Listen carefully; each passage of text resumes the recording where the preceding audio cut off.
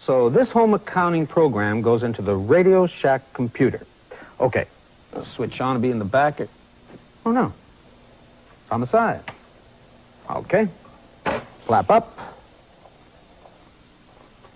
Disc in. Flap down. Now what? You see the orange button? Press that. Orange button. Oh, here we are. What's all this?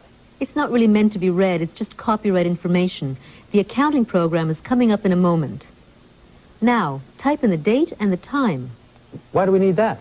Because it helps you keep track of when you use certain programs. Oh, okay.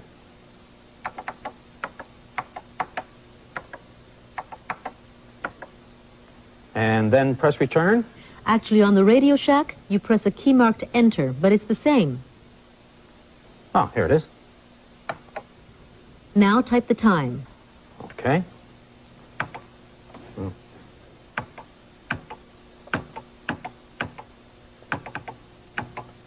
Enter. Ah, here we go. Home accounting system. One, personal budget. Two, balance bank account. Three, mortgage amortization. That's what I'll try. Okay, let's type three. Enter. Amount of mortgage. Ooh, 40,000. Interest rate, 16%. Years amortized, uh, 15. Term in years, 10 years.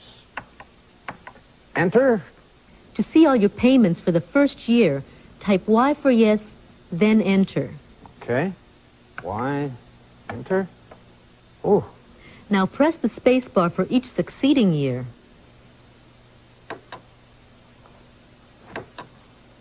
Oh, I definitely have to ask for that raise.